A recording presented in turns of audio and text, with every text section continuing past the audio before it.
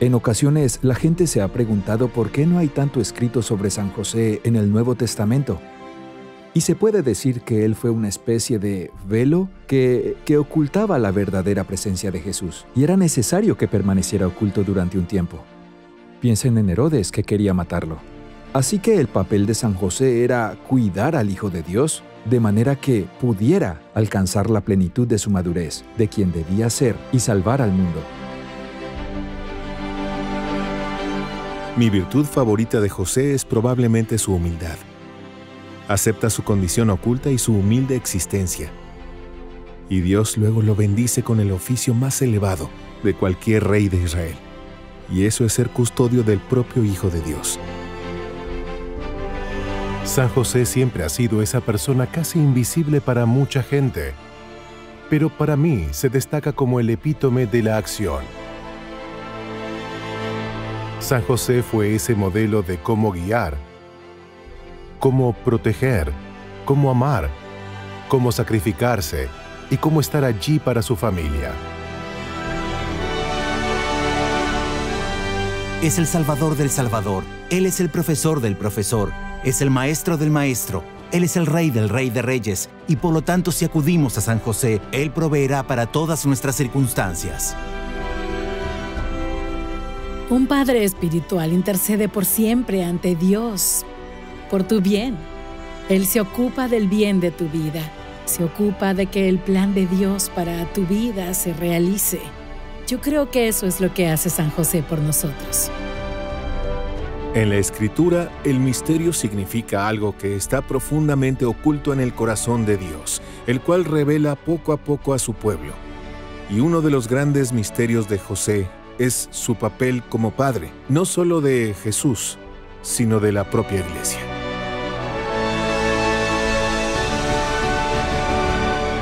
El Papa Francisco habla de la valentía creativa de San José, así como de la valentía que mostró para superar los terribles obstáculos que enfrentó. Nuestra época exige creatividad y valentía, así como imaginación exige una valentía creativa y San José nos muestra el camino.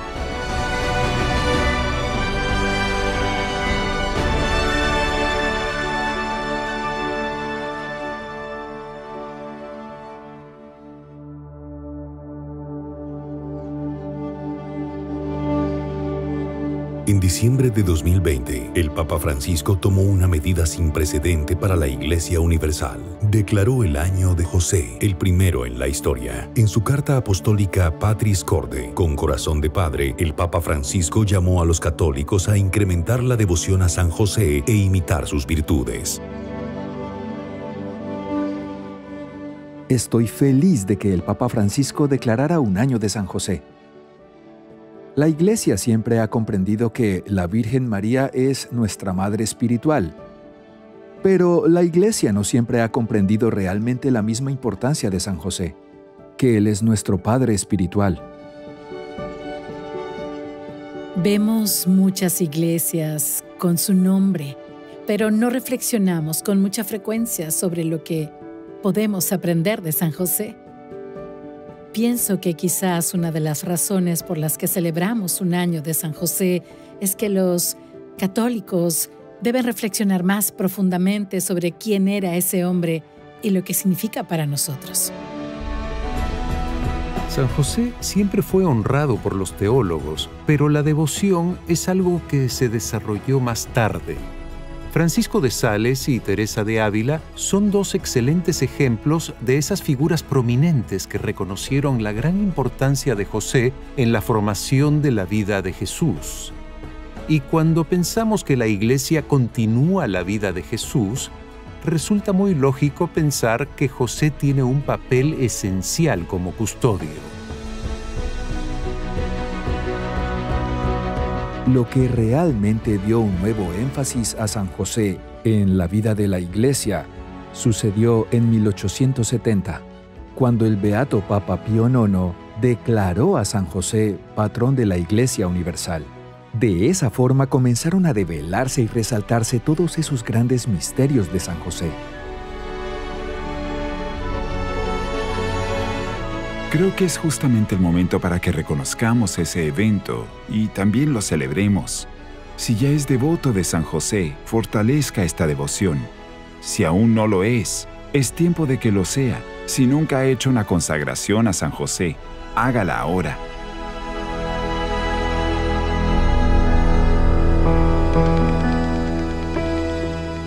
Pienso que fue por la gracia de Dios que el Papa Francisco llamó a este el año de San José para enfatizar su importancia. Se espera que seamos hombres modelo y no hay mejor ejemplo que San José. Soportó un gran sufrimiento por la Sagrada Familia al proveer para Jesús y eso es lo que necesitamos hoy. Hemos estado usando un libro de consagración a San José escrito por el Padre Calloway recorre cada día durante un periodo de 33 días. Además de esto, nos reunimos como grupo para analizar lo que hemos aprendido de San José y dónde nos vemos cuando se nos llama a ser mejores modelos de San José. Quiero decir, ¿quién fue el hombre perfecto? Exacto, el hombre perfecto es Jesús. ¿Quién ayudó a formar al hombre perfecto? San José. Jesús como él da su vida por amor y por generosidad y por obediencia a la voluntad del Padre. Y José hace bien esas cosas, no en una cruz, sino en el día a día, en un taller, en el camino a Egipto. Todos estamos llamados al sacrificio. Esta tarde nos consagraremos a San José y juntos vamos a rezar la letanía a San José. Y entonces quienes van a ser consagrados realizarán individualmente un acto de consagración. Por, lo tanto, habiendo llegado a conocerte y llamarte, me consagro, enteramente, a ti, San José.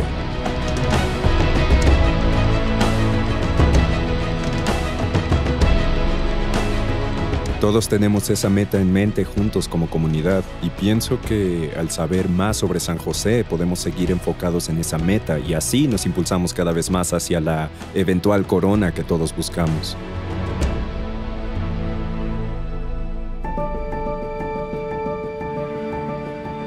Uno de los mayores promotores de la devoción a San José en la historia reciente de la Iglesia es San André Besset. Nació en una familia franco-canadiense pobre y se hizo hermano de la Congregación de la Santa Cruz. Asignado como portero de la Universidad de Notre Dame de Montreal, el hermano recibe a los visitantes y se encuentra con miles de fieles que le confían sus sufrimientos y sus intenciones. El hermano André exhorta a cada uno a que acuda a San José Pronto se difunden milagros por todas partes. Para el hermano André, San José era el mejor modelo de un hombre que era muy humilde en su servicio y su vida. Y el hermano André tenía gran fama por su ministerio de sanación y por su presencia con otros. Ahora podemos ver en todo el oratorio, podemos ver los muros de muletas, por ejemplo, las placas de las personas que le han dado las gracias por su sanación. Así que la fama rodeó al hermano André, pero nunca se le fue a la cabeza. Siempre se dedicó a ese servicio silencioso, ese humilde servicio y el modelo de San José es el que realmente le corresponde. Comenzando en 1904 con solo una pequeña suma que ganó cortando cabello, el hermano André se lanza a cumplir su sueño de un lugar de peregrinación dedicado a San José en Mount Royal, Montreal. Hoy ese sueño es una realidad. El oratorio de San José es actualmente la iglesia más grande de Canadá, así como el centro preeminente de devoción a San José. Estamos muy dedicados a promover la vida de San José. También ayuda el que San José sea el santo patrono de Canadá. El oratorio de San José es un lugar de sanación. Es un lugar donde la gente puede sentirse en paz. Así que nos damos cuenta de que tenemos un papel muy importante ahora que la iglesia de todo el mundo celebra la vida de San José.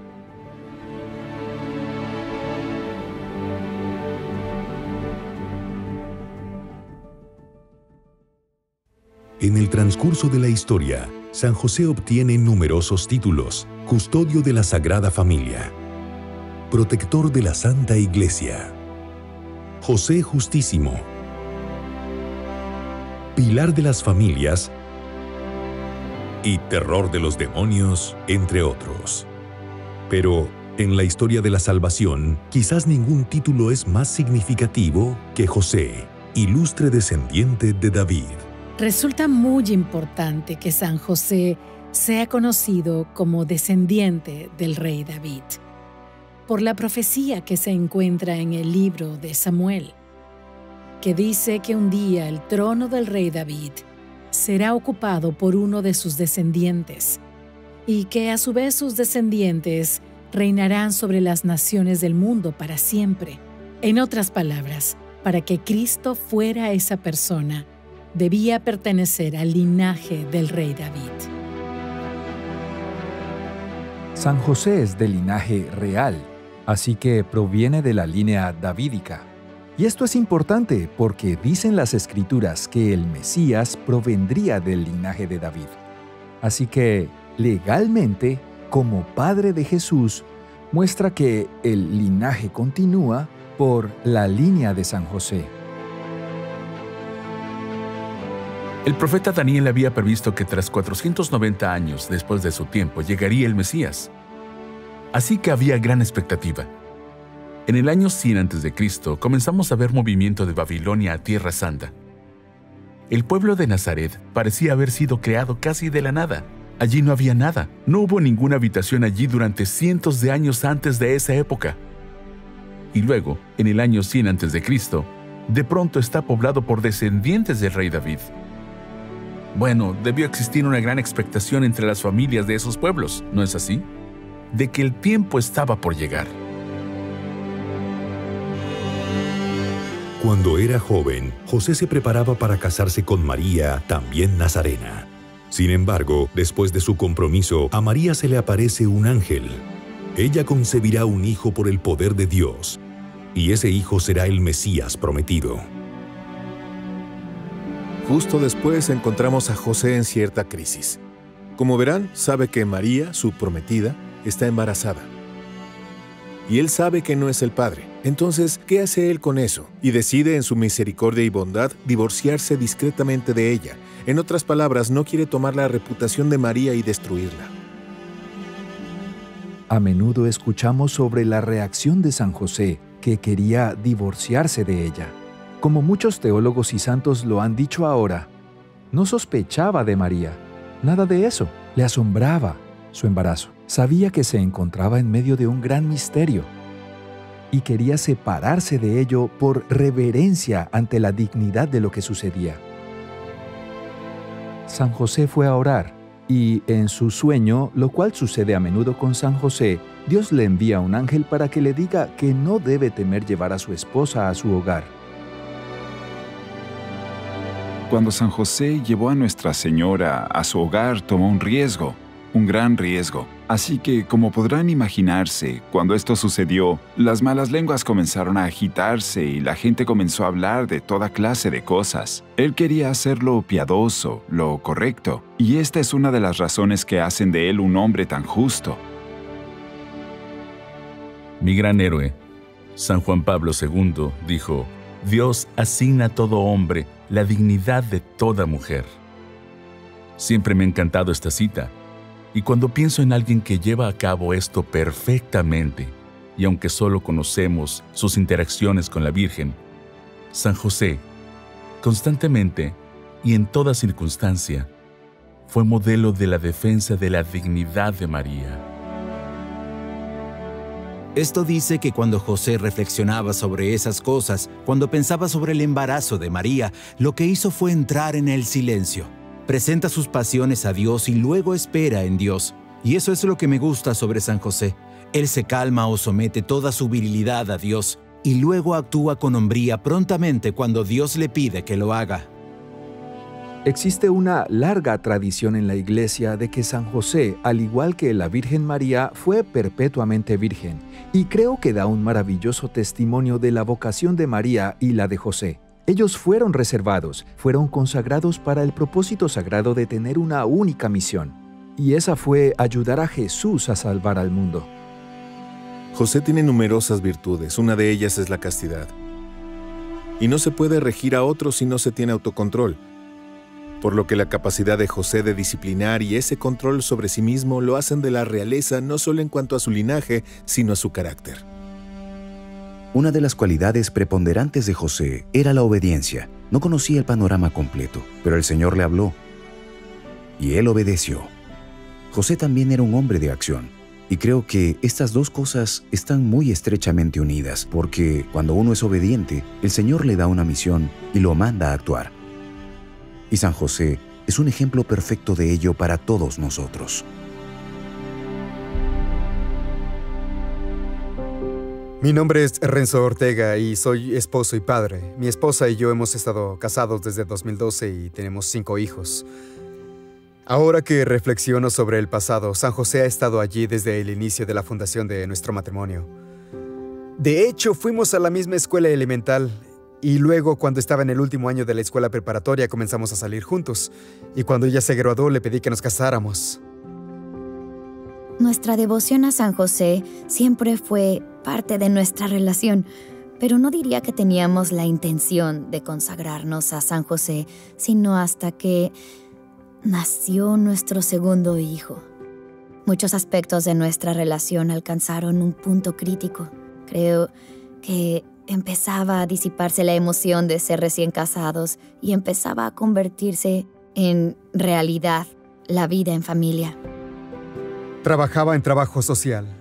Mi trabajo era extraordinariamente tenso y mi mente estaba tan centrada en la oficina que cuando llegaba a casa aún seguía ausente. Emocionalmente estaba ausente, mentalmente también. Él estaba muy tenso, era muy difícil. Así que todo empezó a acumularse y las cosas se pusieron más y más difíciles. Muchas otras cosas se quedaron a medias. Mucho de la intencionalidad de ser esposa e incluso nuestro hogar se desmoronaban. No sabía lo que era la verdadera masculinidad, la verdadera paternidad, cómo debía ser un esposo.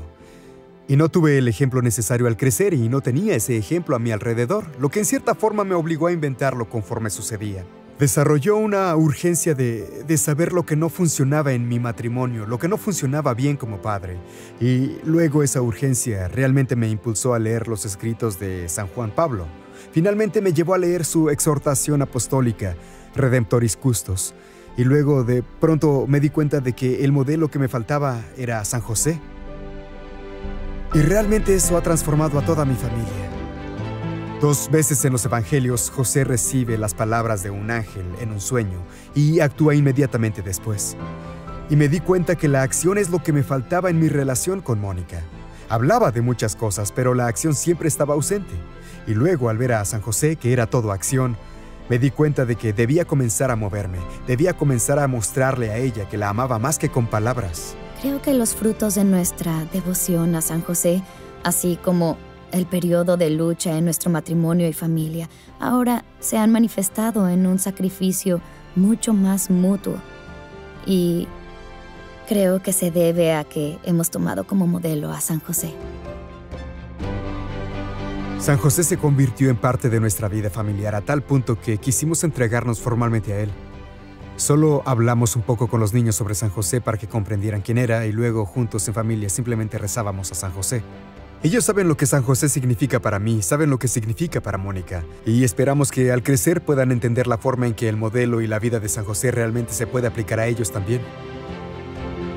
Lo que Dios me mostró por medio de San José es que la lucha no se encuentra allá afuera, está en el hogar, está dentro de mí, dentro de la familia. A partir de ahí me di cuenta de que debo comenzar a implementar la forma en que San José amó a Jesús y María en mi propia vida, y eso ha transformado realmente a toda nuestra familia.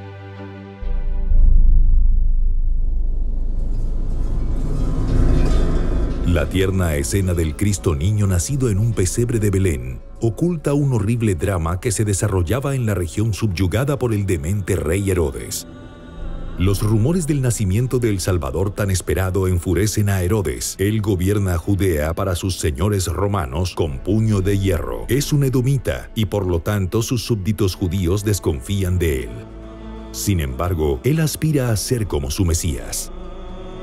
Herodes ha subido al poder gracias a los romanos, y si alguien dijera, hey, yo tengo sangre real del linaje de David, su tiempo de vida sería muy corto. Así que Herodes tenía cierto resentimiento hacia su propia gente, y poco a poco una creciente paranoia sobre conspiraciones y planes en su contra. Asesinó a todos los miembros del Consejo de Jerusalén cuando decidieron que él no era el Mesías. Quería sentirse seguro en el trono, y para ello, el título de Mesías le es muy útil. Cuando se rumora que alguien del linaje de David ha nacido, Herodes el Grande lo toma muy en serio. Envía a todos sus soldados a asesinar a los niños inocentes. El ángel fue enviado por segunda vez a San José con un mensaje urgente, diciendo que un gobernante trataba de asesinar al niño Jesús. Toma a tu esposa e hijo y huye a Egipto. Dice en realidad que se fue esa noche, que no esperó al amanecer. Así que hablamos de un hombre que era extremadamente obediente y a quien no le importaban las circunstancias ni lo que podría suceder. Lo hizo de inmediato. Creo que la valentía de San José era realmente extraordinaria. En algunos antiguos documentos cristianos, José es representado como un hombre muy anciano, en ciertos casos de casi 95 años en la época de su boda. Pero lo que me convence de lo contrario es la huida a Egipto. Escapan sin sus posesiones, sin sus comodidades. Es un viaje de más de mil millas. No parece lógico que un anciano hubiese podido emprender ese viaje.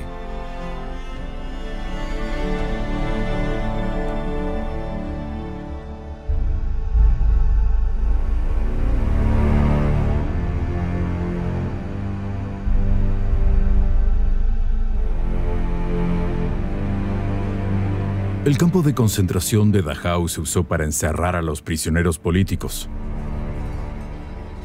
Heinrich Himmler pensaba que la mejor forma de conquistar a la nación polaca era eliminar las posiciones de liderazgo y los sacerdotes estaban entre ellas. Polonia tenía unos 10.000 sacerdotes antes de la Segunda Guerra Mundial y casi el 20% de todos los sacerdotes de Polonia terminaron en Dachau. A partir de abril de 1945, los sacerdotes que se encontraban en el campo de concentración podían oír el bombardeo de Múnich. Existía la sensación de que Alemania podía perder la guerra, pero al mismo tiempo tenían la sensación de que quizás los alemanes no les permitirían vivir. Pensaban, ¿qué podemos hacer? Así que dijeron, bueno, ¿quién cuidó a la Sagrada Familia? ¿Quién protegió a Jesús? Fue San José, y quisieron acudir a él por ayuda. Eligieron a San José de Cáliz como el patrono a quien confiarse. Así que el 14 de abril de 1945 iniciaron la novena. Lo que supieron más tarde fue que ese mismo día, Heinrich Himmler firmó la orden de que ningún prisionero podría abandonar el campo con vida. La novena termina el 22 de abril y en ese día, durante dos misas, más de 800 personas, sacerdotes y laicos, se consagraron a San José. Dijeron, nos rendimos a ti, San José, sé nuestro defensor ante este mal.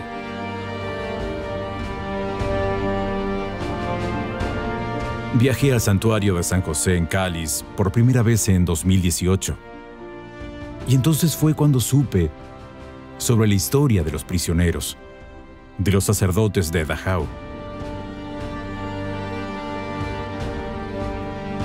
Cuando me enteré de que mi abuelo estaba en Dachau, fue una gran revelación para mí. San José, de alguna forma, me ayudó a descubrir la historia de mi abuelo. Él llegó a Dachau dos días antes de que esos sacerdotes y laicos se entregaran a San José, así que estaba allí, y solo me pregunto si se consagró, si estaba presente durante una de las dos misas en las que se entregaron a San José. Después de la consagración, los sacerdotes esperaron con plena confianza en San José. La tarde del 29 de abril, los militares de Estados Unidos liberaron Dachau. No solo encontraron a los sacerdotes polacos supervivientes, sino también las órdenes de ejecución de Heinrich Himmler. Todos los sacerdotes debían ser asesinados y todo el campo arrasado por completo. Esa noche a las 9 pm. Fueron salvados apenas unas horas antes de enfrentar una muerte. Todos los sacerdotes acreditaban a San José y a su consagración por la liberación milagrosa.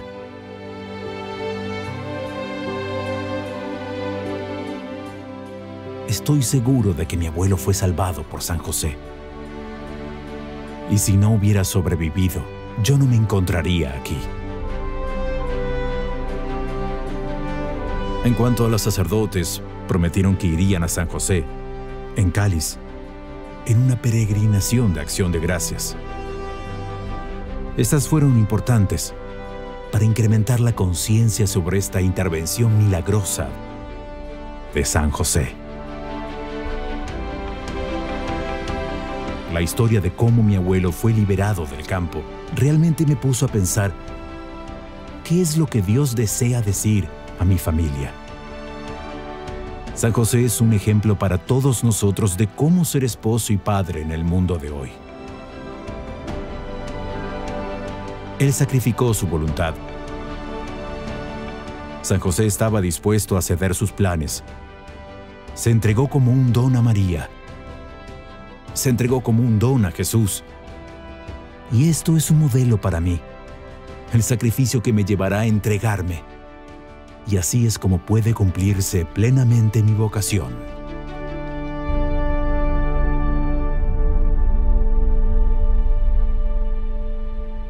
Tras la muerte de Herodes, una vez más se le aparece un ángel a San José y le informa que ya es seguro salir de Egipto para regresar a Israel.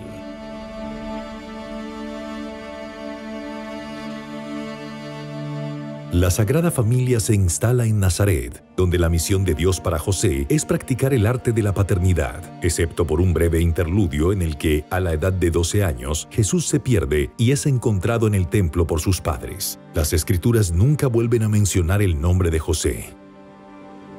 San José nunca habló, aunque sabemos que dijo una palabra, y esa fue Jesús, porque debió darle a Jesús su nombre en la circuncisión. Esa es la única palabra que sabemos que pronunció. Después de todo, Él era el Padre del Verbo y sabía que el Verbo había llegado al mundo. Así que creo que la razón por la que no tenemos rastro de sus palabras y de lo que podría haber dicho fue porque nos dio esa única palabra, Jesucristo.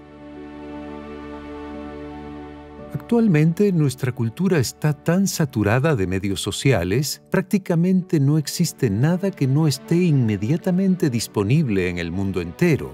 Y San José es un contrapeso excelente.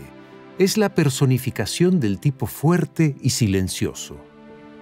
Cuando pienso en que José era la sombra terrenal del Padre Celestial sobre Jesús, recuerdo a Juan Pablo II en su exhortación apostólica sobre la familia, Familias Consortio. En ella dice que los padres adelantan una imagen, replican en la tierra la paternidad de Dios y encuentro que esta es una de las declaraciones teológicas más poderosas. La paternidad es mucho más amplia que la realidad biológica. Decimos que los animales se engendran, pero no son padres. Los seres humanos son padres porque no se trata solo de su ADN, sino de su forma de ser, sus formas de hablar y los hábitos que aprenden. Y así la paternidad tiene todo que ver con lo que uno dedica a sus hijos, de manera que puedan conocer el amor, ese amor incondicional y madurar por medio de él. Creo que el año de San José es una necesidad tan urgente porque los padres son mucho más necesarios y mucho más vitales para el florecimiento humano de lo que sugiere nuestra cultura. No se trata de cubrir cualquier necesidad material, sino de ser el amor constante que se da a otro. Ser un hombre recto significa ser un hombre con valor y ser un hombre capaz de sacrificarse, es decir, sacrificar sus propios intereses por el bien de otro. Esta es una característica importante de San José. Creo que nos encontramos en un momento en la sociedad en que los hombres temen defender lo que está bien. El ejemplo de San José nos enseña a ser libres. Realmente nos encontramos a nosotros mismos cuando tenemos el valor de vivir para otros. El papel de un hombre es proteger y proveer para su familia. Pero para proteger y proveer necesita ser fuerte, tanto física y psicológicamente como espiritualmente. Y San José cumplió con las tres, trabajó duro, era un hombre fuerte, cumplió fielmente su alianza con Dios día con día, así que vemos a José como un verdadero ejemplo de lo que es ser hombre. En cuanto a mí, pienso que José es el ejemplo del que se vacía a sí mismo. Siempre se colocaba en el último lugar. Convertirme en padre, para mí, fue una experiencia intimidante, porque dudaba si sería capaz de criar a mi hijo. Y fue por medio de referencias bíblicas a San José sobre la confianza en que Dios provee, lo que me dio la fortaleza con la que pude dejar de lado mi ansiedad. Hay niños y hay hombres, y hay padres espirituales. Para el niño, en cierto sentido, todos son responsables de él, así que todos se ocupan de él. El hombre se ocupa de sí mismo, así que obtiene un trabajo estupendo, recibe un gran sueldo, pero eso es todo para él. Pero un padre espiritual reconoce que su papel y responsabilidad es hacia otros. Sabe que tendrá que luchar, quizás sangrar, para salvar almas y llevarlas al cielo. Para mí personalmente, San José ha sido un parteaguas. Mi vocación como esposo y padre ayuda tanto poder acudir a alguien como el estándar y tratar de emularlo y vivir de esa manera todos los días. Así que conocí a mi esposa, jugaba con los vikingos, ella aún estaba en la universidad y me arrastró de vuelta a la iglesia y ahora quiero ser un excelente esposo y un excelente padre y quiero que mis hijos tengan fe también. Si San José hubiera sido jugador de fútbol americano, habría sido liniero ofensivo. Fue puesto en la tierra para hacer, y ese hacer era proteger. Como padres se espera que seamos los protectores físicos y espirituales de nuestra familia. Tantos hombres están sufriendo, tantos hombres se enfocan en lo que no deben. Tenemos una crisis de masculinidad, tenemos una crisis de liderazgo en especial en nuestras familias. Y cuando pienso en liderazgo, pienso en virtud, y nuestra sociedad no pone en alto la virtud como algo a lo que se debe aspirar, pone en alto el dinero o el estatus, pero la virtud, como dice el catecismo, el objetivo de una vida virtuosa es llegar a ser semejante a Dios, acercarnos a Dios. Para nosotros los hombres, tener devoción por San José nos ayuda a luchar por eso todos los días. Mi esposa y yo tenemos la bendición de tener seis hijos biológicos, y luego un día mi esposa dijo, ¿qué te parece la adopción? Y el primer día en que se publicó nuestro perfil, recibimos la bendición de que dos madres que daban a luz nos eligieran. En cierta forma me maravillo de nuestros dos hijos adoptivos. No soy su padre biológico, pero Dios los creó sabiendo que yo sería su padre, como San José fue el padre adoptivo de Jesús yo tendría la impresionante responsabilidad de criarlos. La paternidad es un compromiso diario de dirigir, educar, criar con disciplina, y muchas veces no es algo muy glamoroso. Mi nivel en el golf no es muy bueno. Ya no salgo a pescar como antes con mis amigos. Pero está bien, porque negarse a sí mismo es amor. No se puede amar sin vaciarse a sí mismo, sin sacrificio. No sabemos nada de lo que San José pudo haber hecho para sí mismo.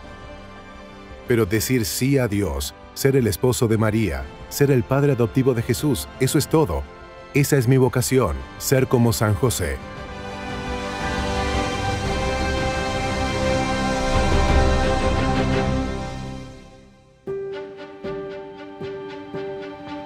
Hola, soy el padre Richard Conlin Fui ordenado como sacerdote el 11 de diciembre de 2020 durante el año de San José, así que San José es siempre una inspiración para que yo desee vivir plenamente mi vocación en todo lo que hago como sacerdote. A los nueve años me enamoré del golf. Quería ser jugador de golf profesional y para mí estaba seguro de que el golf era lo que me traería felicidad.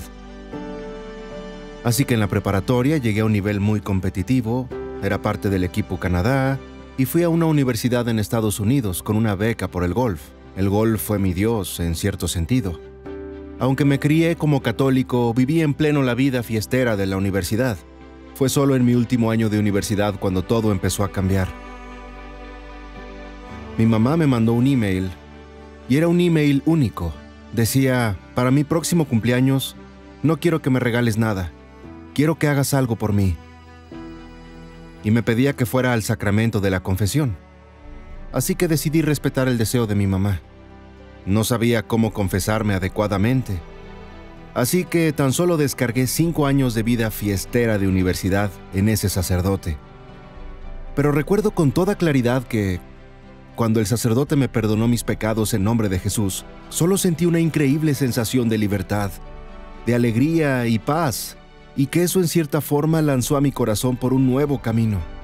Ya no era el golf lo que yo quería lograr el resto de mi vida pero era como si quisiera donar a otras personas esa experiencia. Y eso fue lo que detonó mi vocación. No tenía una verdadera conexión personal profunda con San José hasta que estuve en el seminario.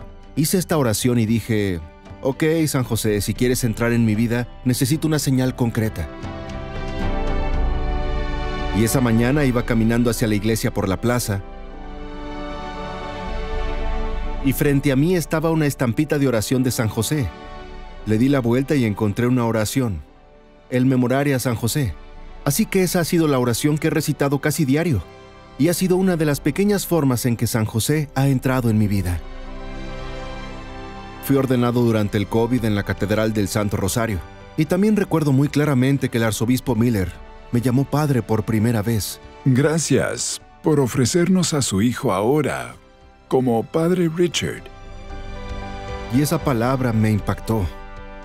De inmediato cuando dije la palabra Padre durante mi discurso de agradecimiento por la ordenación, de pronto la persona de San José me vino a la mente. Era como si San José probablemente supiera cómo se siente ser un padre incompetente.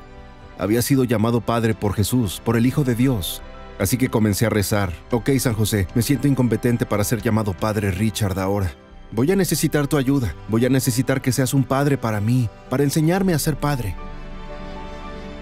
José no es el padre biológico de Jesús, pero es un padre verdadero y real de tantas formas.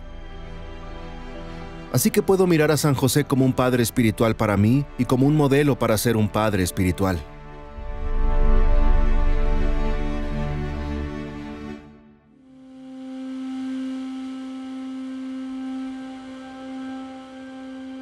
Crecí bajo la tutela del estado de Connecticut en tres casas adoptivas, dos instituciones, Nunca tuve ningún tipo de formación religiosa, en realidad nunca tuve padres que me educaran. En algunas de las casas adoptivas se centraban en sus propios hijos, pero no en mí. Me convertí al catolicismo en 1990, basado en la necesidad que tenía básicamente de ser hijo de Dios. Aunque no lo sabía antes, justo eso era lo que me faltaba.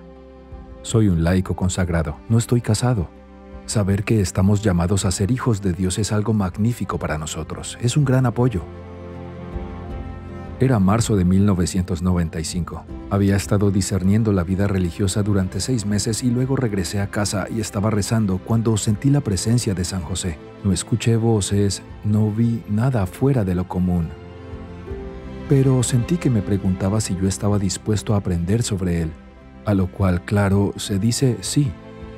Y luego sentí la presencia de la Virgen y sentí que me preguntaba si estaría dispuesto a amarla como lo hizo San José, con el espíritu de San José, y no sabía lo que eso significaba, pero claro, si sientes que la Virgen te pide algo, vas a decir que sí. Así que dije sí, y así fue como comenzó todo. El apostolado vino al año siguiente. Pero San José, nuestro patrono, es un apostolado laico fundado para promover el patronazgo universal de San José. Es la idea de comprender que los patronos son modelos e intercesores. Muchos creen que cuando piensan en tener devoción por algún santo patrono, solo ven su poder como intercesor. Pero esto enfatiza el ejemplo de San José y la forma en que tuvo la relación más íntima con Jesús a través de María, y que al amar a San José como Padre y a María como nuestra Reina Madre, estamos imitando a Jesús. Cuando tenemos padres aprendemos de ellos y crecemos para ser como ellos, o al menos esa debería ser nuestra aspiración. Y así es como veo la devoción a José y María, porque están unidas. Siempre me ha interesado la fotografía y creo que es un maravilloso medio para contar historias. He comenzado a hacerlo y quiero usar los intereses y dones que tenga para promover la fe. Cuando fotografío algo como las liturgias, en especial la misa, trato verdaderamente de captar la devoción que se expresa. San José era un hombre de trabajos manuales y los hacía de forma muy meditativa, y eso es una de las formas en que veo a San José como modelo. Creo que cada vez que actuamos con el propósito de ser hijos de Dios, eso creo que da gloria de Dios. Y entonces cuando nos mira, Él ve la imagen de su Hijo encarnado en nosotros, lo cual realmente creo que es el objetivo de todos nosotros.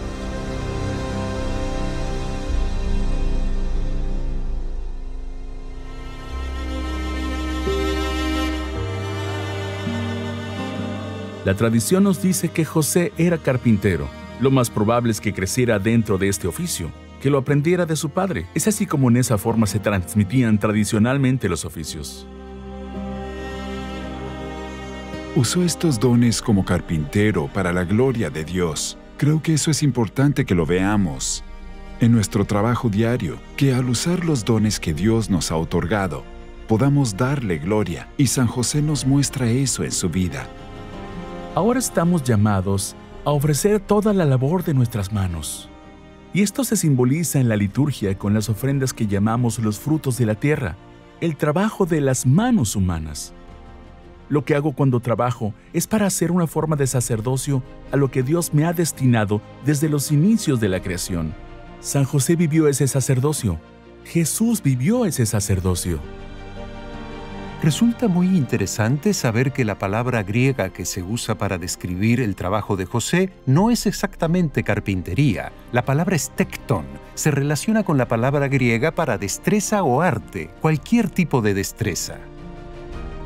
Conocemos a Jesús como rabino, pero también es constructor como José y va a aprender de José cómo ser un gran artesano. Él llama a Simón Pedro, que significa roca, y sobre esa roca edificaré mi iglesia. Jesús va a ser un constructor en una forma radical y va a construir su gran edificio, su gran obra, que será la iglesia. Desde el siglo XIX, la cuestión del trabajo se ha convertido cada vez más en una cuestión urgente y si queremos recuperar el sentido del significado del trabajo y su valor, así como la dignidad del trabajo, San José es realmente una maravillosa figura a quien acudir. En el siglo XX, la emergencia del comunismo amenazó con socavar el concepto cristiano del trabajo. Para la década de 1950, las tropas soviéticas desfilaban por la Plaza Roja el primero de mayo, el Día Internacional de los Trabajadores. Había habido un día realmente dedicado tan solo a la celebración del trabajo humano, y fue el primero de mayo. Bueno, el comunismo realmente deseaba transformar todo eso, convertirlo en el Día del Trabajador Comunista y cambiar el concepto de trabajo como el fin último del hombre.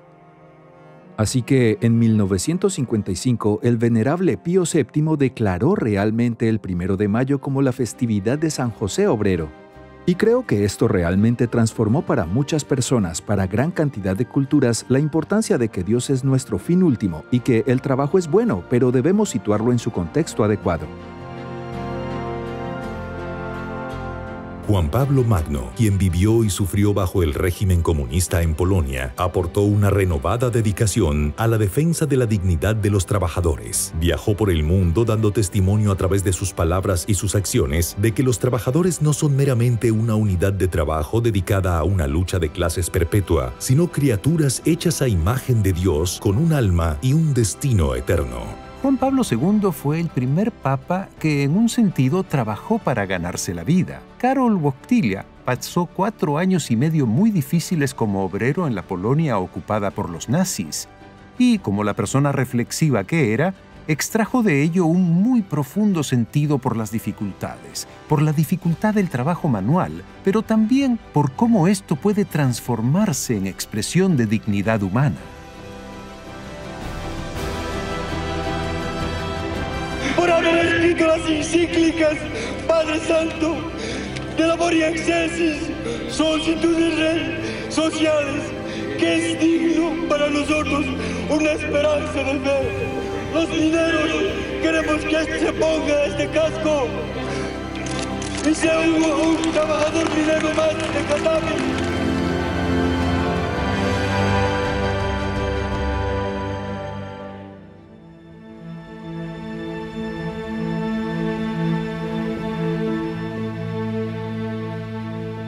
Estamos en el Museo de la Capilla de Loreto, que se encuentra en Santa Fe, Nuevo México. Esta escalera milagrosa fue construida a fines de 1879 por un carpintero misterioso que, según pensaban las hermanas, era San José desde el cielo. Esta escalera capta las miradas de los ingenieros y los constructores de escaleras, e incluso los físicos de todo el mundo. Y aún actualmente es un misterio el quién la construyó. Cuando las hermanas se dieron cuenta de que nadie en Santa Fe era capaz de construir una escalera con base circular, rezaron una novena de nueve días a San José para que intercediera ante Jesús para que les ayudara a resolver su problema. Y el último día de la novena, tocaron a la puerta de la capilla. Un hombre de barba gris dijo que había venido a construir la escalera. Así que lo contrataron de inmediato. Al pasar el tiempo se construyó. Pero tres meses después, se dieron cuenta de que se había marchado y lo buscaron por todo Santa Fe y nadie pudo encontrarlo. Así que las hermanas estaban convencidas de que había sido San José. La mayoría de las escaleras circulares tienen un poste central, están construidas en un muro o existe un piso entre cada espira. La nuestra es de doble espiral, dos espirales completas, sin ninguna conexión. Y por eso los ingenieros están totalmente asombrados de la forma en que permanece en pie esa escalera. Me gusta decirle a todos nuestros visitantes, ¿por qué se mantiene? Nadie lo sabe. ¿Quién la construyó? Nadie lo sabe. ¿De dónde proviene la madera? Nadie lo sabe. Y por eso se conoce hasta hoy como la escalera milagrosa.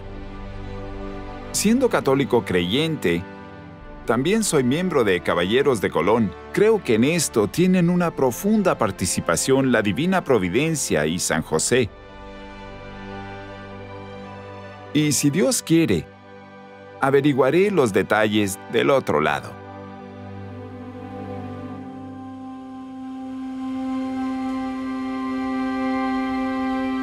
Durante siglos, San José ha sido conocido como el patrono de una feliz muerte. Tuvo una muerte santa y feliz porque Jesús y María estaban con él.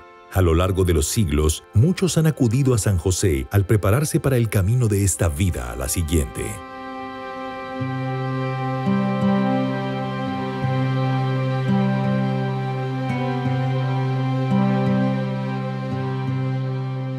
Paul y yo nos conocimos en mayo de 2007. Para julio de 2007 sabíamos que estábamos llamados a casarnos. Sabía que Paul era la persona adecuada para mí porque cuando lo conocí tuve una poderosa conexión espiritual con él. Y desde que era pequeña mi madre me había dado una oración para rezar cada día la oración que recé era a la Santísima Madre pidiéndole básicamente que me enviara a San José y Paul tenía muchas de sus características. Era sencillamente un hombre fuerte y espiritual. Solo supe de inmediato que no había duda de que era el hombre que yo estaba destinada a desposar. Una de las cosas por las que Paul y yo estábamos muy emocionados al prepararnos para el matrimonio y hablar del matrimonio era poder construir juntos nuestra pequeña iglesia doméstica.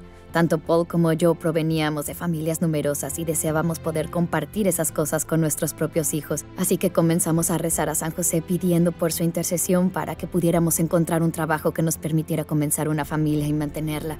Así que comenzamos a rezar la novena a San José Obrero y ya habíamos perdido dos bebés. Y entonces allí estábamos rezando y justo cuando estábamos rezando a San José, quien obviamente era el mejor padre adoptivo que puede haber, recibimos la llamada telefónica. Y recuerdo llorar de que podríamos llevar a este pequeño niño a nuestra casa. No sabíamos cuánto duraría ni por cuánto tiempo podríamos adoptarlo, pero aquí está, ese niño pequeño que no tenía ni dos años y ahora tiene 12 años. Es un don tan importante en mi vida. Y sé que se debió en mucho a la intercesión de San José. Paul trabajaba duro, realmente duro. Hacía todo lo posible para mantenernos, de manera que pudiera realizar la tarea a la que estaba llamado, que era trabajo de ministerio, compartir a Cristo con otros, así como San José compartió a su Hijo con el mundo. Creo que Paul definitivamente quería preparar a nuestros hijos para que pudieran salir al mundo y enfrentar cualquier reto que apareciera en su vida y ser capaces de llevar a otros al conocimiento de Cristo. En la primavera de 2014, Paul sintió algo de dolor en el pecho. En octubre ya había sentido un bulto. Dos días antes de Navidad, tosía sangre Así que sacamos una cita y lo llevamos con los médicos. Ellos le hicieron una radiografía y dijeron que sus pulmones estaban llenos de innumerables tumores, tantos que no podían siquiera contarlos. También tenía metástasis en el cerebro. Y luego acabó teniendo dos infartos. En el segundo, acabó en el hospital y allí pasó dos semanas. Ver a alguien que es la persona más fuerte que conoces, alguien de quien siempre has dependido para que te proteja físicamente a ti y a tus hijos, verlo sufrir así es realmente duro, realmente duele.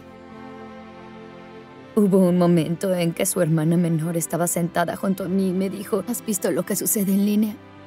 Y luego sacó lo que habían estado subiendo las personas diciendo, hashtag reza por Paul. Y yo no lo podía creer. Había cientos y cientos de imágenes. Y entonces solo sentí esa fuerza abrumadora que me invadía y supe que no provenía de mí, sino de Dios, y que era un don de todas las oraciones de tanta gente. Esperábamos un milagro, rezábamos por un milagro, pero también sabíamos lo malo que era su diagnóstico y Sabíamos que había muy pocas posibilidades de que sobreviviera a todos los tumores que tenía en el cuerpo. Mientras estábamos en el hospital, entraba en su habitación y él estaba acostado completamente inconsciente cuando salía. Cuando regresé a la habitación estaba sentado firme en la cama, sin ninguna atadura excepto por la intubación, y simplemente me sonreía. Sus ojos brillaban estaba radiante, tan contento. Así que fui hasta él, tomé su mano y le dije, este es nuestro milagro, ¿no es así? Asintió y pude ver la sonrisa en sus ojos. Parecía decir, este es nuestro milagro.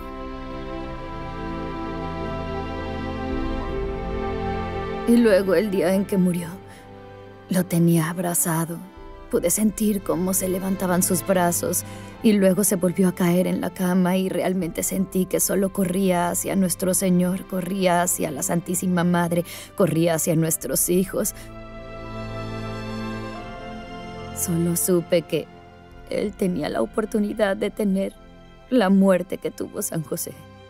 Una muerte buena, santa y feliz rodeado por sus seres amados, rodeado por los ángeles y los santos y por toda la iglesia. Después del fallecimiento de Paul, el hashtag Reza por Paul pasó a ser Vive como Paul y la gente realmente podía querer vivir como Paul. Eso fue una cosa realmente hermosa, ver a toda esa gente de todo el mundo orando y luego inspirada a vivir como él. Vivir como Paul significa vivir en una forma que te acerca a Cristo.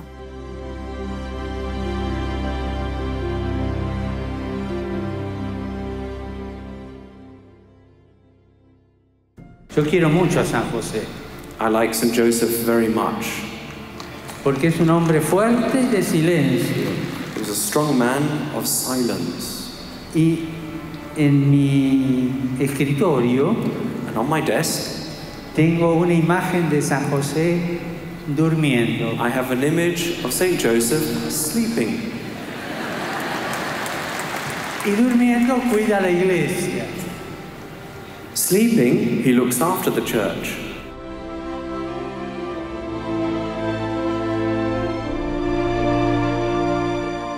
La primera vez que supe de la devoción a San José dormido fue por el Papa Francisco que ha hablado al respecto. Mi esposa me dio una estatua de San José dormido por el Día del Padre, así que escribimos peticiones por las cosas en las que queremos que interceda y las colocamos debajo de la figura dormida de San José. Esta es una devoción que ha tenido el Papa Francisco a San José y él reza esta oración cada mañana desde hace 40 años y yo la rezo cada mañana.